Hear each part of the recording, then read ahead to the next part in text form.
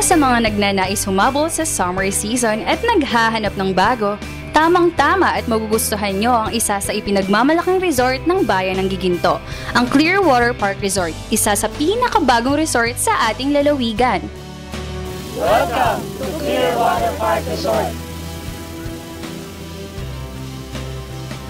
Clearwater Park Resort o yung KLIR is came from the abbreviations ng mga names of owners. Sabi ng mga tao, uh, kaya pala clear yung pangalan ng resort nyo kasi yung water nyo is clear daw.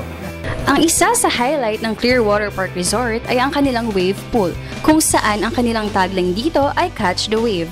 Dahil sa laki ng alon na tila ikaw ay nasa dagat. Sinasabing ito ang may pinakamalaking wave pool sa buong Bulacan na may sukat na 3,500 square meters. Ang Clearwater Park Resort ay may apat na swimming pools. Una na dyan ang kanilang wave pool. Meron din silang adult pool with water bubble massage na tamang-tama sa mga taong nagnanais makapag-relax. Andiyan din ang kanilang kiddie pool kung saan meron itong mini lazy river na ikasisiyan ng mga bata. At lastly, andyan din ang kanilang mini adult pool.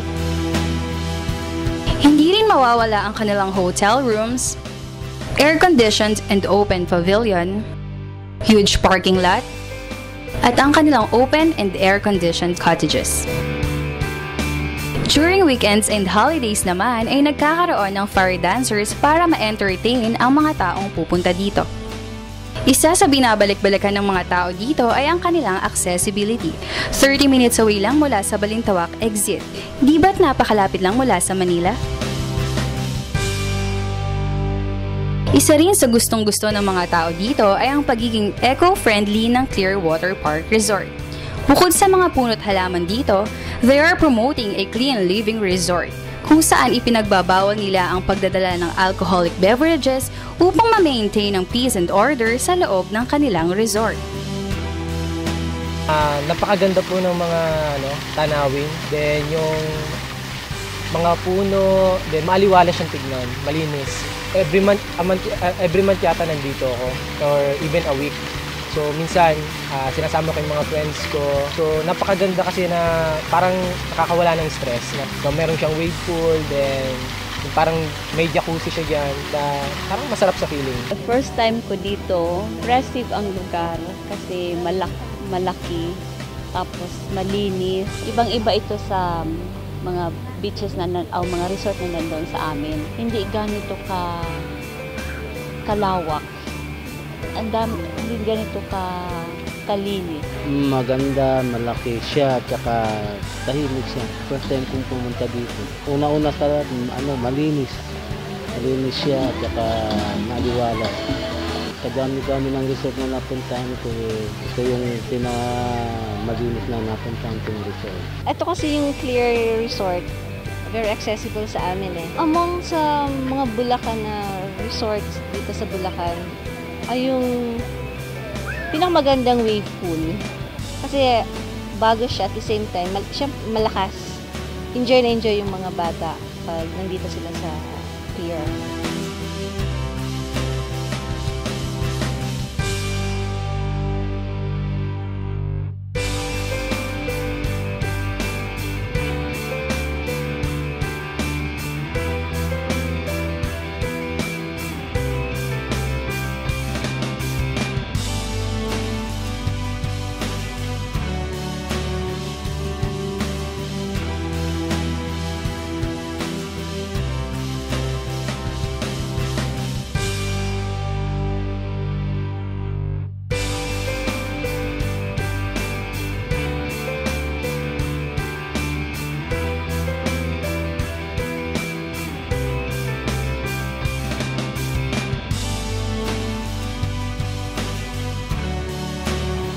Sa mga gustong pumunta at dumalo sa, sa Clearwater Park Resort, pwede niyo po kaming i-check yung aming website sa www.clearwaterparkresort.com.ph and pwede niyo rin check yung aming Facebook, facebook.com slash page uh, slash Clearwater Park Resort para makita niyo po dun yung aming mga rates and yung mga picture ng resort. And for the telephone numbers as well, If you were coming from Bulacan, i-dial nyo lang po yung 892-0227 or pwede rin po kayong tumawag sa 760-1075. And kung meron po kayong cellphone number, meron din po kaming Sun Cellular. Uh, pwede po kayong tumawag sa 0925-500-5547. And para naman po sa mga taga Manila, ay meron po kaming Manila Line and Manila Office. Pwede po kayong tumawag sa 384-6221 o kaya naman sa 384-4023. So sa mga taga Bulacan, uh, we invite you to come here at Clearwater Park Resort. Uh, we're located at Kabilang Bacood, Santa Rita, Giginto, Bulacan. Uh, we are one of the newest uh, wave pool resort here in the Bulacan. Probably you can try and experience our wave pool.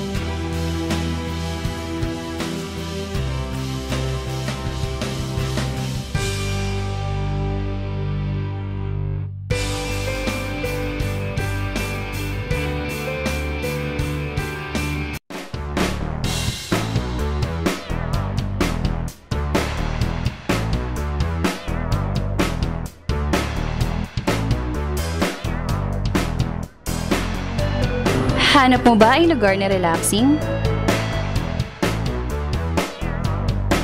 Abay wag nang mag-atubilit dayuhin ang pinagmamalaking paraiso mula sa bayan ng Bustos. Walang iba kundi ang Galilee Wonderland. Ang salitang Galilee ay hango sa salitang Hebreo na Galil, isang lugar na matatagpuan sa timog na bahagi ng Israel, na naging sikat dahil sa karagatan nitong naiulat na nilakaran ni Jesus noong nabubuhay pa.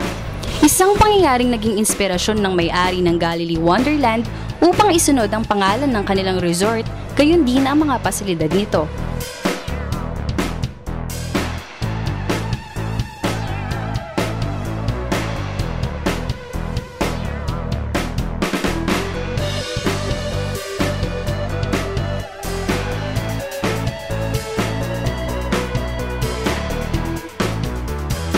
Hati din ito ang function halls na swak mula sa pampamilyang okasyon hanggang sa seminar workshop ng mga grupong nais ay exclusive venue.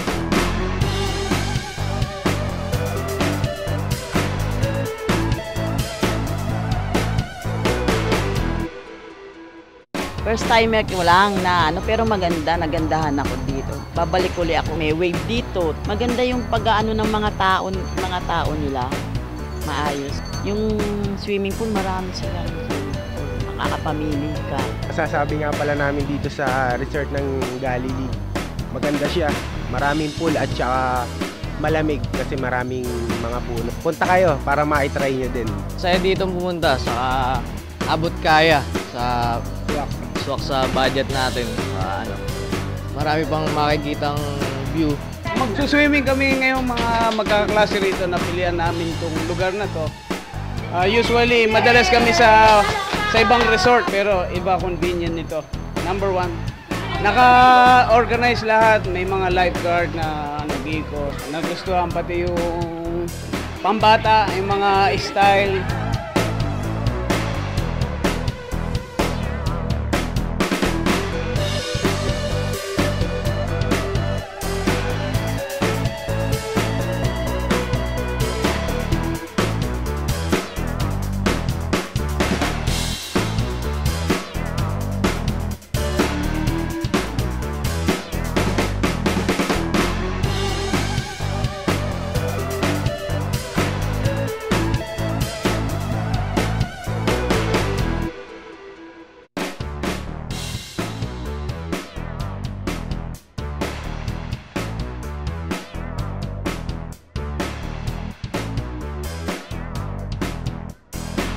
Pasok lahat yan sa mga hanap nyo.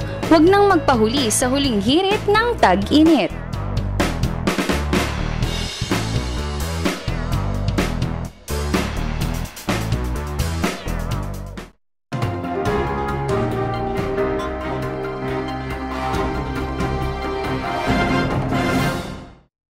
Summer Sports Clinic, yan ang programa ng pamahalang panlalawigan para sa mga kabataang gustong magkaroon ng kapaki-pakinabang na summer vacation. Tampok dito ang mga sports kabilang ang arnis, aikido, no jiu-jitsu, badminton, scientific basketball clinic, taekwondo, chess, lawn tennis, gymnastics, football, dance sports at swimming na ginanap sa Bulacan Sports Complex.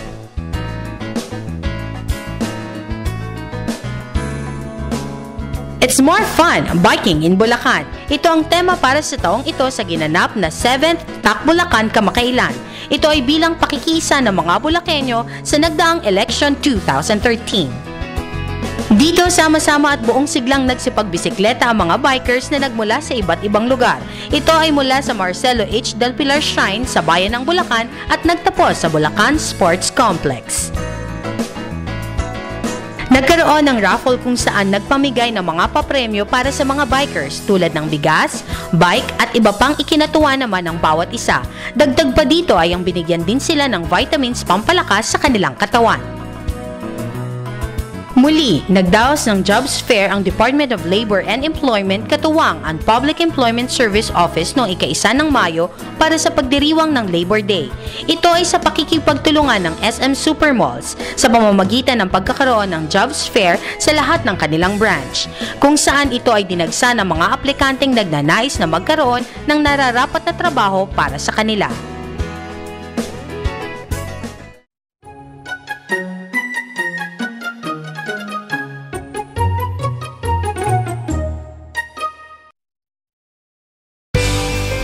Mga kalalawigan, ngayong bakasyon, hindi lamang swimming at summer adventure ang pinagkakaabalahan ng mga kabataang Bulakenyo. Kaya naman, kami ay nagbibigay pugay sa mga high school students ng Dr. Yanga Colleges Incorporated sa bayan ng Bukawi. Dahil sa kagalingan nila sa larangan ng robotics, local at international, kaya't itinanghal noong ikalabing anim ng Abril 2013 ang kanilang eskwelahan bilang 2012 Most Transformative School for Learning Effectiveness and School Efficiency sa Second Excellence Educational Transformation Awards sa EDSA Shangri-La Hotel, Ortigas, Mandaluyong City. Tinanggap ni Michael Yanga, Basic Education Director at Vice President for Academics and Operations ang parangal.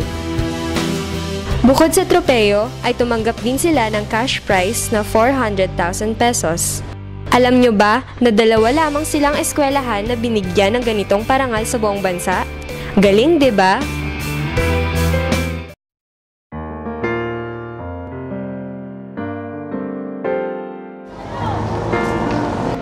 Ay, bawal yung plastic. Dahil ipinagbabawal na ang plastic sa Bulacan, ipinababati ng pamahalang panlalawigan na ganap nang ipinatutupad ang kautusan bilang 2012-09 o panlalawigang kautusang nagbabawal sa paggamit ng non-biodegradable plastic bags, styrofoam at mga kauri nito bilang packaging material sa lalawigan ng Bulacan at nagtatakda ng kaparusahan sa paglabag nito.